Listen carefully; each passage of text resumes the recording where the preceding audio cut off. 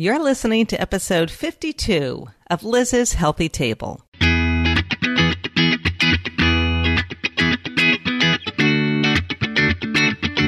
Looking for a healthy new way to feed your family without the hassle and hype? Welcome to Liz's Healthy Table, where your host, registered dietitian nutritionist Liz Weiss, serves up fresh and flavorful recipes with a tasty side of science, good nutrition, and fun. Are you and your family ready for some wholesome food that tastes great too? Don't change that dial. Your food adventure starts here. Welcome to the podcast, everyone. Today's show features a new cookbook for teens, college students, and young adults. It's written by one of my favorite dietitian cookbook authors, Katie Morford. Katie's new book is called Prep, the Essential College Cookbook, everything you need to get started in the kitchen. And I hope you're hungry because Katie joins me to answer your questions and to talk about some of my favorite recipes in the book, including butter lettuce with green goodness dressing, roasted broccoli with lemon and Parmesan cheese, and golden banana bread. And by the way, you will find that banana bread recipe over on the Liz's Healthy Table blog. So I hope you'll stop by and check it out. And while you're on the website, I hope you'll also head on over to lizshealthytable.com slash podcast go over to the show notes from this episode, number 52, and enter for a chance to win Katie's new cookbook. This is a U.S. only giveaway, but we are giving away one copy to one lucky listener. So this book is for beginner cooks, but between you and me, even if you're a well seasoned home cook, you'll love the recipes in the book. And I think you'll also love Katie's kitchen wisdom and all of her tips for recipe success. For beginner cooks, let's say you have a child graduating from high school or college, or you have a high school kid who's really eager to learn the basics of cooking, to get into the kitchen more often, then this book is a must. In a nutshell, I would say that prep provides the foundation for a lifetime of cooking confidence. And of course, we want our kids to know how to cook because when they can cook, they can prepare fruits and vegetables and you know what? They end up eating a healthier diet. This is Katie's second time on the podcast. If you haven't listened to episode 42, which was all about winter squash, then be sure to tune into that show. So this is her second time on the podcast. It's kind of fun to start welcoming my guests back onto the show. We actually go way back, Katie and I. She and I, I think, met maybe 10 years ago, maybe more. I'm losing track of time. But, you know, we're both dietitians. We're both in the family nutrition space. And we're both cookbook authors. And besides writing prep, Katie has written a book called Rise and Shine, Better Breakfasts for Busy Mornings, and a book called Best Lunchbox Ever. And she also writes for magazines. She writes for Real Simple, Family Circle, Parents, the San Francisco Chronicle. She's written for the New York Times. And she's also the voice behind the popular food blog, Mom's Kitchen Handbook. And that website features recipes, nutrition advice, and weekly meal plans, all for busy families. Mom'sKitchenHandbook.com. She lives in San Francisco with her husband and her three daughters, so she knows her way around the kitchen. Now, before we get started, don't forget to join Liz's podcast posse. This is my closed group on Facebook. Anyone can join. It's a great community. That's where you get to ask questions and then I get to include you on the podcast. If you're on Liz's lizshealthytable.com slash podcast, you'll see a link to the podcast posse in the sidebar. Liz's Healthy Table is brought to you by my friends at superhealthykids.com, your one-stop shop for recipes, meal plans, cooking videos, and tips for feeding kids of all ages. My show is also brought to you by the Parents on Demand Network. This is an app that is filled with parenting podcasts, including a show that I just discovered called Newbies. This is a podcast that guides new mothers through their baby's first year of life. Episodes feature newly postpartum moms as they celebrate the excitement of becoming new parents as well as the emotional and physical struggles of recovering from childbirth and caring for a newborn baby.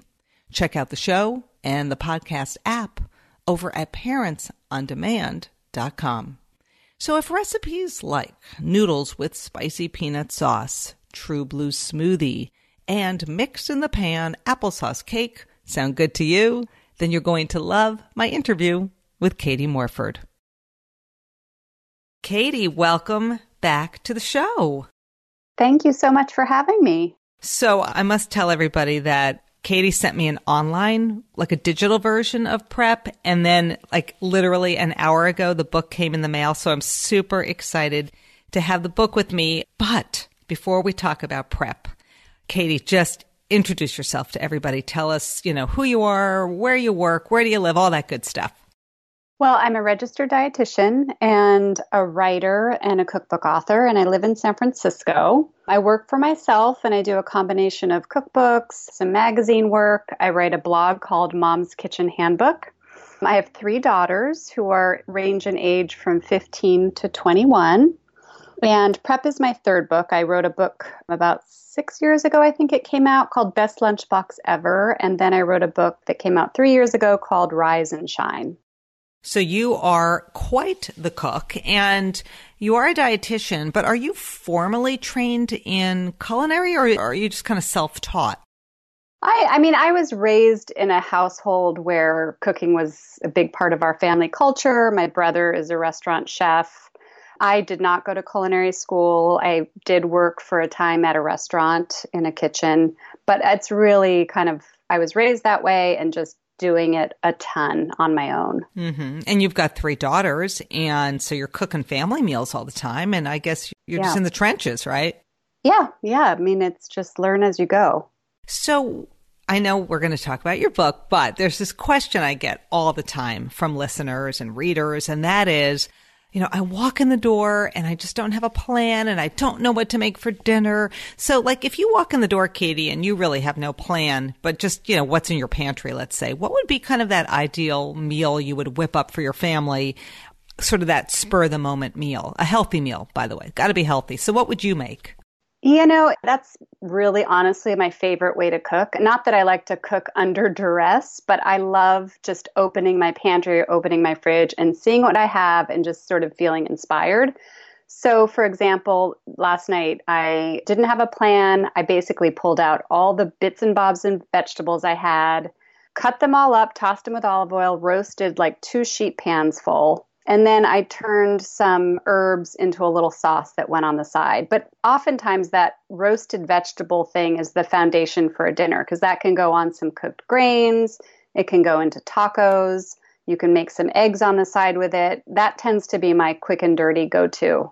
And I also think that is great for just reducing food waste because we all tend to have, you know, half a cauliflower, a little bit of broccoli. In fact, that's what I have a lot of veggies in my fridge right now. So I might just do that tonight. You could even do it with baby carrots, right? You might have half a bag left or something, right? Yeah. I mean, I had mushrooms. I had like a little chunk of celery root. I had some fennel, I had turnips, I had a sweet potato, and then I threw a can of beans on there at the end just to kind of warm them up with a little olive oil and lemon. Yum. Yeah, All right. It was good. Sounds yeah. good to me. All right. So you've got this new book. It's called Prep, the mm-hmm. Essential College Cookbook. Everything you need to get started in the kitchen. And my first question about the book is you say it's for college kids, but you had sent me this online version of the book.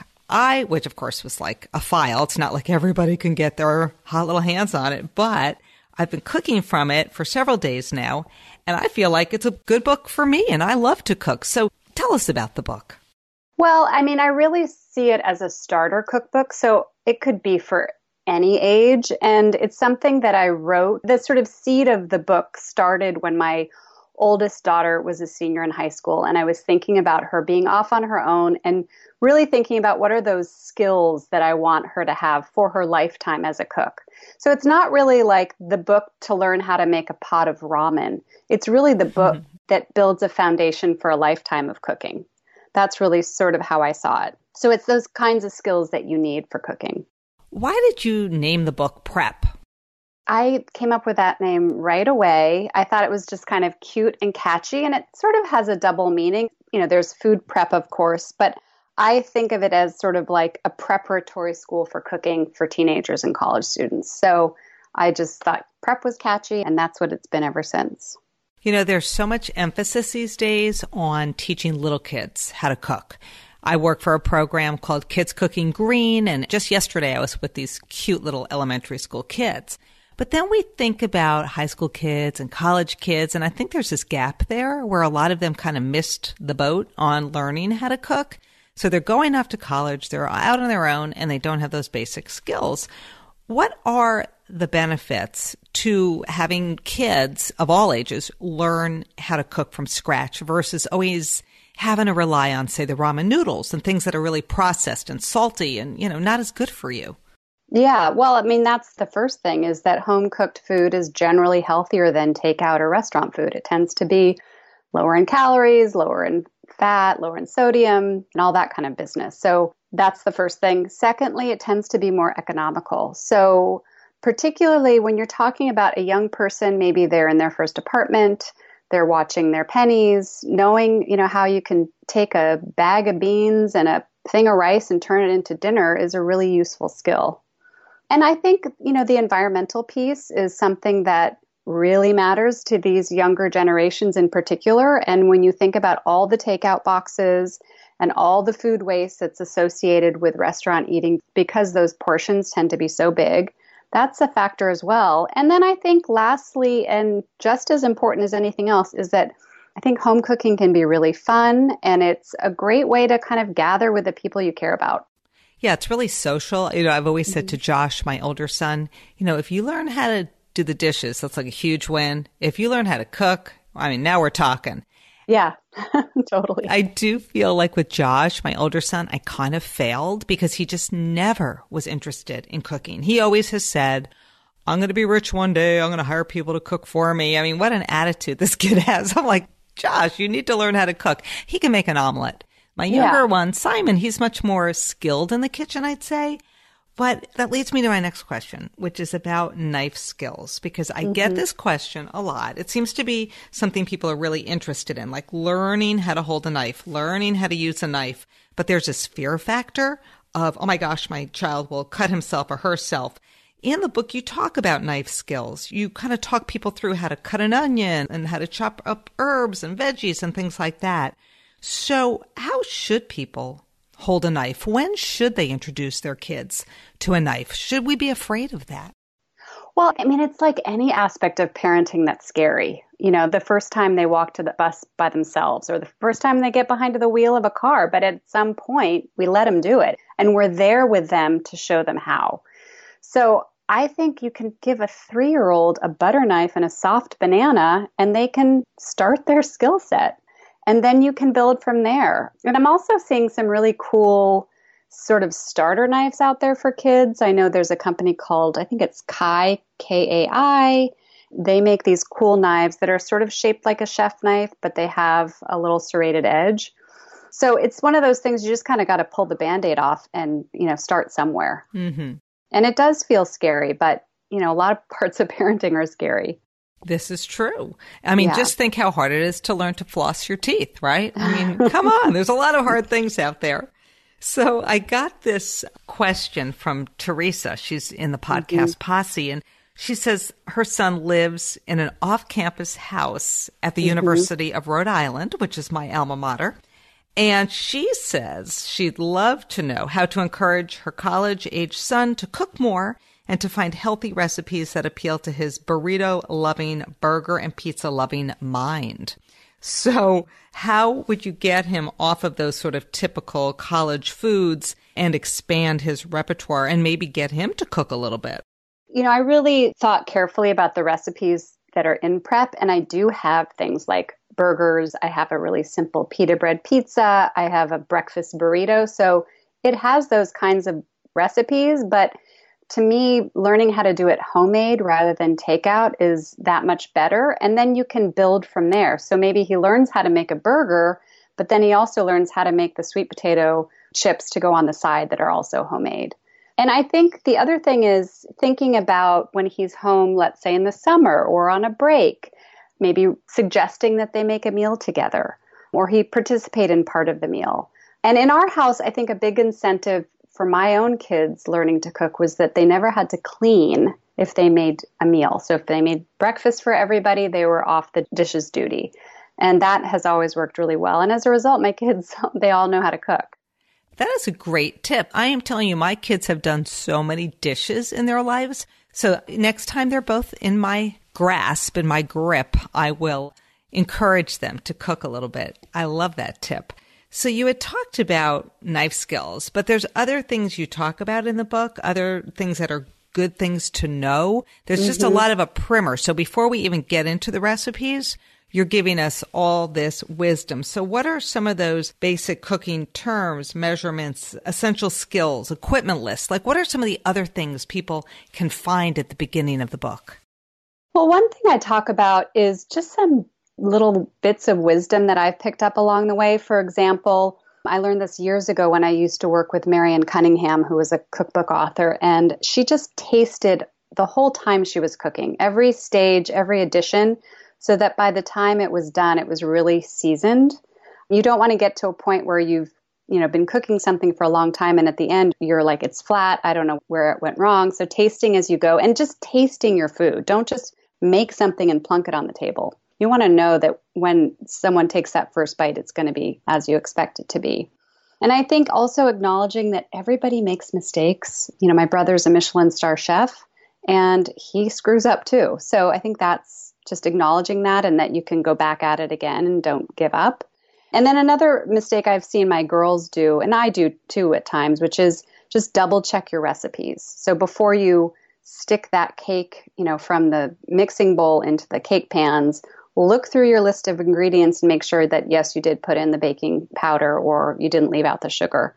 So those are a couple of little just kind of bits of wisdom. And then I think you know, knowing what it means to chop or whisk or beat. And those are all things that are in the book. I think that's really helpful. And what's kind of cool is that we live in the day and age of the internet. So any 17 year old doesn't know, they can just do a quick Google search and see how to hold a knife or cut an onion. That's true. You can learn how to play the guitar by just going to YouTube. So, yeah. Exactly. we can learn how to cook. I love that. Yeah. You know, I was reading somewhere this week that adults under the age of 35, like more and more of them don't even own a can opener. I was looking on your list of essentials and thankfully mm-hmm. you had a can opener. I mean, I feel like, oh my gosh, how could you not own a can opener? Because canned foods are so convenient, you know, and you could open up a can of beans or tuna or salmon and you've got like a whole meal. So you've got this list in the book of all these different essentials, you know, equipment essentials. Mm-hmm. And then mm-hmm. I get mm-hmm. this question from Sarah on the posse and she says she wanted to know what cooking essentials that she should send with her daughter off to college. She says she will be in a dorm. I guess she's going to be, you know, heading off to school in the fall. And she says, I'm thinking of a mini fridge and a microwave and a toaster. Seems like a lot. You know, these dorm rooms are really small, but if you're in a dorm room, what might you have in there that could get you on your way. And then, of course, Sarah's worried about all those dirty dishes. And I'm just thinking about Simon up at the University of Ver- Vermont. The last time I was up there, he's like, Mom, you can't come in the room. I'm like, why? Mom, you don't want to come in the room. So my sense is the dirty dishes are in the room. So what might be a few other things Sarah can send her daughter off to college with? Well, I think first off, she probably should find out what she's allowed to have because I know a lot of dorm rooms have very strict rules around electrical appliances. I think, you know, fridge is usually fair game. And I think that's a great thing to have. Beyond that, she may not be able to have something, you know, that plugs in. I know my daughter had like a coffee maker and it was confiscated at college. But if she was allowed to have something, I think something like an electric kettle would be great because then you can make oatmeal and you can make hot soup and you can make tea and that kind of thing. And the other thing to find out is if maybe there's a communal kitchen and how that is equipped. Mm you know, because sometimes dorms will have that, and that could be a place to go not only do some food prep, but also do some dishes. Because I don't think that a tiny dorm room is a great place to do dishes. It is not, because then you end up in the shared bathroom, and it's not a good scene. So. I mean, I think, you know, really thinking about her daughter in a dorm room, I would think more along the lines of having that mini fridge and then having more snacky things like a jar of nut butter, a loaf of bread, some whole grain crackers, maybe some veggies and hummus, some fruit, cheese sticks, you know, those kinds of things that will tide her over if she doesn't get to the cafeteria or she's studying late into the night. And maybe she arms her with just a knife and a cutting board or something like that. Mm, yeah. And you mentioned those sort of dorm room snacks, or, you know, say you're a young professional and you're sort of out in the world for the first time. Those snacks are so important because people, you know, when they think of snacking, they often think it's, you know, junk food in the middle of the day. Mm-hmm. And the mm-hmm. snacking can really be like a mini meal. I mean, it can be really healthy. And you do have yeah. snacks in the book too, I've noticed. Yeah, I have a chapter called Snacks and Little Meals. And it's exactly that. And they're designed to be healthy. There's a recipe to make a really super simple guacamole. Anyone can do it. You could have that with vegetables or tortilla chips. I've got a blueberry smoothie in there. I think that's a great, super satisfying snack if you can get some protein into that. And I, you know, have a peanut butter toast and you layer all kinds of goodies on top. So that can be something satisfying and healthy. Mm. And you know, it reminds me when Josh was at University of Delaware living off campus, I did send him this little mini blender. It's like a maybe mm-hmm. a two cup blender. And in the mornings, he was, to his credit, blending up a smoothie with uh, yogurt, juice, and banana. So at, yeah. le- at least he was getting some good protein and good nourishment, and some fiber before he left the house in the morning because I don't think he was really grabbing breakfast. So even something like that, you know, for Sarah, a little blender you can plug yes. in and then you've got yes. some bananas, some yogurt in the fridge and some milk or juice and you're good to go. Yeah, those little ninja ones that, you know, it goes right into the cup and you can take it with you. Ooh, that's a good idea. Love that. Yeah. So you've got chapters. Let's see, your book starts out with an egg chapter. I'm a huge mm-hmm. egg fan. You've got veggies and main dishes. You've got sweets. You've got this banana bread that I'm dying to make. And I went and bought four bananas and they're ripening. And after I hang up with you, I actually might go make that. But tell us about some of the recipes in the book and just how you wrote the recipes because it's a little bit different from a typical cookbook. It's really descriptive. You've got an equipment list. You talk about safety. You give this pro tip on each recipe. So kind of walk us through what the recipes themselves look and feel like. Well, I mean, you know, the format, there's 10 chapters. Each chapter has five recipes. And the idea was if you can tackle a couple of these recipes, for example, the pasta chapter. If you can tackle one of those recipes or two of those recipes, then you can build on that and make other pastas. So that was the idea. You know, I live with three young people, teenage and college students. So I just kept them in mind as I was writing these recipes and thinking about a true beginner and trying to give them, you know, I don't just say set the heat to high. I say put the pan on mm-hmm. the heat you know, turn it to high, you know, that level of detail because my goal was that anyone who's a young person could pick this book up and have success and not feel, you know, disappointed or set back by the fact that they failed. Mm-hmm. So that was kind of my thinking. And, you know, the chapters just try to cover the whole gamut uh, how to build a salad, how to cook a piece of chicken, you know, how to cook a vegetable that you actually want to eat, um, all those kinds of things. And it really is important to know how to use a knife because I think that opens up your world to fruits mm-hmm. and vegetables. I mean, mm-hmm. if you can mm-hmm. slice mm-hmm. an apple, if you yeah. can cut up, you know, a head of broccoli, then, you know, you're one step closer to being successful. So if you had all your kids in one room and your husband and you, you know, mm-hmm. you're all in the room mm-hmm. at the same time, you bring out prep Mm-hmm. And you say, all right, everybody, what's your favorite recipe? Am I going to get five different answers or is there like a family favorite in the book? You're probably going to get a combination of those two. I mean, there's definitely things in this book that they've grown up on and that they all love, but you know, they're all different. And two of my kids are vegetarians, so obviously they would gravitate towards some of the vegetarian recipes. You know, the mac and cheese is super popular in our house. There's a mix in the pan applesauce cake that they all absolutely love. They love that banana bread you mentioned. And, you know, the salad recipe, are those are all the dressings and salads that they grew up on. So I think that's also a really popular one. Mm-hmm. You do have a recipe in the book for this. I was calling it in my mind a green goddess, but it's green goodness. So it's this mm-hmm. green goodness. I'm just opening up the book now. There it is butter lettuce, with green goodness dressing. And I love butter lettuce because it's so delicate. It's just like mm-hmm. this lovely lettuce. And I started making it. I have a mini food processor. Mm-hmm. And then I'm like, no, no, no, no. You need your bigger, like, get rid of that. Get your bigger food processor out.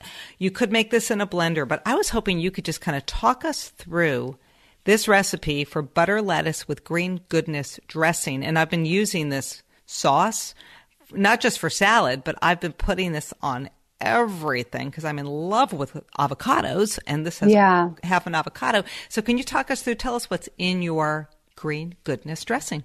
So that is a really popular dressing in our house and it also can double as a dip. And I think it's exactly the kind of thing that can be a wonderful way to incentivize young people to eat vegetables because it's so delicious. And it's a green goddess, but rather than relying entirely on mayonnaise and sour cream, a lot of the creaminess comes from using ripe avocado. And that's also what makes its color even more vibrant and makes it healthier because you've got those good healthy fats and fiber in there. So it's avocado, there's green onion in there, basil, some lemon juice and olive oil, and then there's sour cream and mayo. And it just all gets thrown in the blender, comes out really creamy and tangy and super yummy.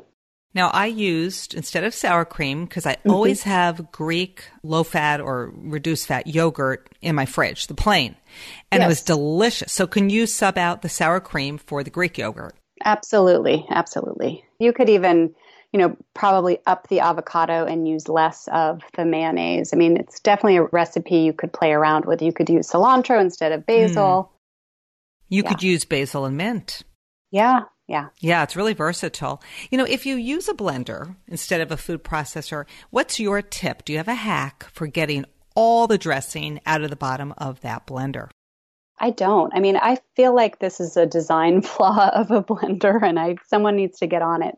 But, you know, sometimes I might add a tiny extra liquid at the very end and try to get every last drop, but I do find it kind of frustrating. Mm-hmm. So we need an invention. We need to go on yes. Shark Tank, and this is how we will make our millions. Absolutely. All right. If anybody listening wants to join us in this new and improved blender design, please email me immediately. and we will go on Shark Tank. I am one degree of separation from Mark Cuban. I'm i not, do. I are you? I am. Oh. My friend Suzanne, who's coming over this afternoon to go for a walk with me. Her brother is really tight with Mark Cuban. All right. Oh, okay, ta- yeah, this is really good to know. But I do have a tip on washing blenders, which you well, may already thank know. Thank you. Thank you. We need that immediately. What is it? I just empty it out with whatever you've made. Fill it like halfway up with warm water, a squeeze of soap, put it back on, and let it run and it really it's not going to get obviously get completely clean but it helps makes it much easier to clean once you do that. Very good. All right. For that i give you a million dollars.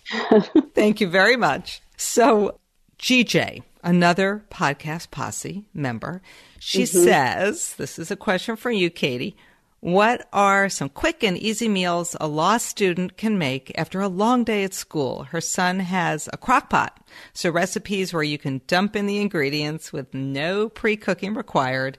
That is what she's looking for. What do you got for us? Well, I do have some slow cooker recipes on my blog, but I will tell you that I don't have a ton of experience with those sort of, you know, dump and go crock pot meals other than doing like a jar of salsa verde and some boneless, skinless chicken thighs and letting that go on low. I think that works really well, and you can shred it and then turn that into tacos. But I will say that, you know, for someone like that who's really busy and probably coming home exhausted, I would say just investing a tiny bit of time on the weekend to either stock the house with something things that can really quickly be turned into meals like canned beans, you know, a, cook a pot of rice, have some eggs and tortillas on hand, have some pre washed leafy greens. All of those things can quickly make a meal.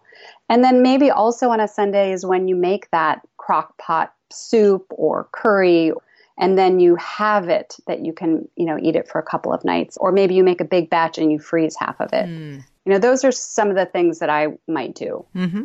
Yeah, and I have a recipe on my blog. It is pulled pork, but you could do this mm-hmm. with chicken. Chicken thighs, by the way, work really well. They're so moist, yeah. but the boneless, yeah. skinless. But I just do pork loin yeah. and I add barbecue sauce, like an all natural barbecue sauce. I add some shredded carrot, some diced onion, and a little bit of diced bell pepper. And then I just let that go for like eight hours on low and I shred it up. And so it's similar, you know, where you're yeah. just adding like your protein, your sauce, and then I throw yeah. in some veggies because all sort of disappears. Yeah. And then, like you said, you could have it in tacos, you could have it over rice, you could add it to a salad, you could freeze leftovers. So I think her son would definitely benefit from something like that. Yeah, and I love that you're adding all those veggies in there. I mean, I do that with like pasta sauce. I'll, you know, dice up really tiny a bunch of goodies so that mm-hmm. you're really enriching it. Yeah. And, you know, I'm a huge veggie lover. And Tim and I were just on vacation. We were out in Aspen. We were skiing for mm-hmm. a week. I did not ski every day. I'm not a great skier, but I did my best. It was really fun. But I said, listen, we've been eating out a ton. We got to like detox when we get home. My idea of a detox is just to eat all, a lot of vegetables. And mm-hmm. so your recipe in the book for roasted broccoli with lemon mm-hmm. and Parmesan seriously yummy. So I've been eating that for several days. Yeah. And I did cheat on that, Katie. I didn't buy a head of broccoli. I was at Trader Joe's and I just bought like two bags of the broccoli florets. That's a great sort of shortcut. You know, for a kid, that's a great thing too. You mm-hmm. know, they can still make it without having to bother with the cutting. It's still delicious and healthy. Yeah, and you know, like even for Josh, you know, in New York, like if you live mm-hmm. in a mm-hmm. big city, you have a Trader Joe's, you get the yeah. florets, and basically all you do with this recipe is you toss those florets with extra virgin olive oil, you add kosher salt, black pepper, and then you roast it at 425 and mm-hmm. on a baking sheet. And then you get this great recommendation to sort of toss it about, you know, two thirds of the way through because sometimes, you know, things will start to brown a little bit too much on the bottom. You want to kind of have it bake evenly. And then what you do at the end, and this is what I love and I don't typically do, is you call for squeezing lemon juice over the broccoli and then mm-hmm. tossing with Parmesan cheese, grated Parm. Yeah. Oh my God, that lemon. It just makes it so vibrant. Yeah. Love that. I mean, this, I do this with cauliflower too. And if I leave that out, like if I pull this out and leave it out, my kids will gobble the whole sheet pan up. It's, it's mm. really good stuff. Yeah. I mean, we want vegetables to taste good, right? So yeah, that's yeah. a great technique. I think you could do that. What else might you do that with? So you got broccoli, cauliflower, something like carrots, sweet potatoes, even? Yeah, I mean, I would do it. Yeah, sweet potatoes would be good. I mean, any roasting vegetable. Fennel would be nice. That's really nice with the lemon. Mm. Turnips, anything that you would roast, I think would work. Love, love, love. Why is it important, though, for everybody to know how to prep vegetables? Because I think I mean, the baby carrots are great, right? I mean, you could open up a mm-hmm. bag, buy some hummus, dip away. But getting to kind of that next level, why do you think that's so important for all of our kids, you know, high school on up? I mean, I think it's important for everybody, for kids and grown-ups. And I think if you know how to prepare something, whether it's cutting something or roasting something or steaming something, you're that much more likely to cook it. And I think the first step is really knowing how to cut it. And I've seen this in adult cooking classes I've taught where they look at a bell pepper and they don't know how to get in there. or how to cut an onion that isn't going to take you, you know, 20 minutes. A couple little skills around that stuff can make all the difference. So I think and you can build on it like we were talking about earlier. If you show a teenager how to cut a cucumber and they get comfortable with that, then maybe they'll be cutting celery and cutting carrots and or if you teach them how to roast this broccoli, then they can roast cauliflower or, you know, zucchini or what else. Mm-hmm. Yeah, it goes on and on. So your books come out, it is the springtime. I think of college kids and I'm thinking of the fall. Mm-hmm. So would you recommend people get the book now so when their kiddos get home in May from college, they can spend the next few months prepping them to go back to school to be better cooks?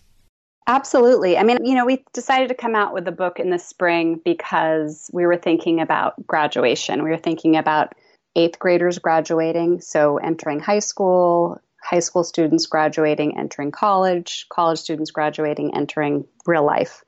And thinking that this would be a great gift idea in all of those groups. And I think ideally this is a book that starts with, you know, younger teenagers so they have those years at home to have their mom and dad buy them groceries and help them with knife skills and pitch in with the cleanup and all that kind of stuff. But definitely, a kid coming home from college, having this book and taking the summer to pick up a few tips and techniques, I think is perfect.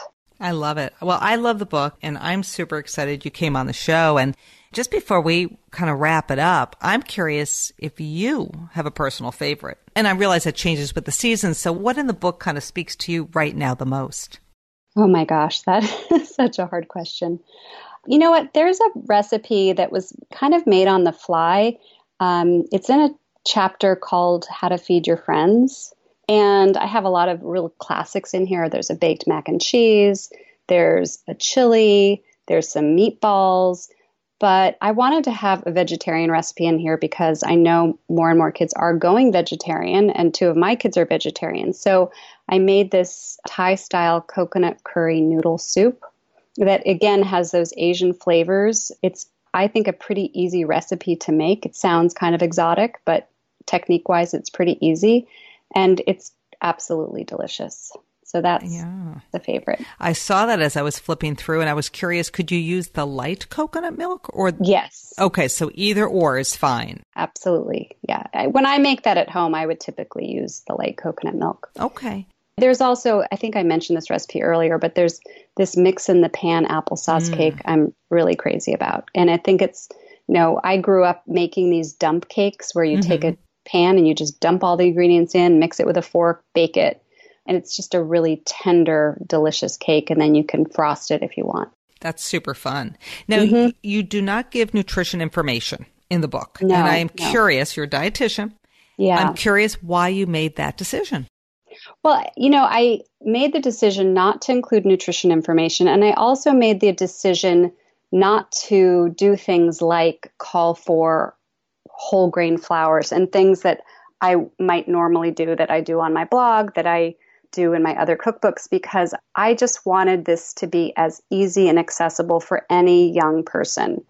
And I didn't want, you know, a 16 year old to look at my chocolate chip cookie recipe and go like, yuck, almond flour and whole wheat flour. I just want them to learn to make a delicious cookie. And I think you can build from there because the rest of the book also has lots of really healthy stuff. It's a balance. So I didn't want it to come off as remotely clinical. I just wanted it to all be really delicious. So if you get the foundation, so you learn mm-hmm. how to make the applesauce cake, let's say, and right. then you're like, okay, I can take half of that all purpose flour and substitute it with whole wheat. Why not? I'll give it a try. Absolutely. Or you can make a really wholesome dinner. There's like a roast chicken dinner in there and then you can make the applesauce cake, and that's a perfectly reasonable, healthy meal that's a lot better than something that's going to come, you know, from the takeout guy. Mm-hmm. And then wash it down with a glass of milk. Exactly. Get some good calcium. Why not?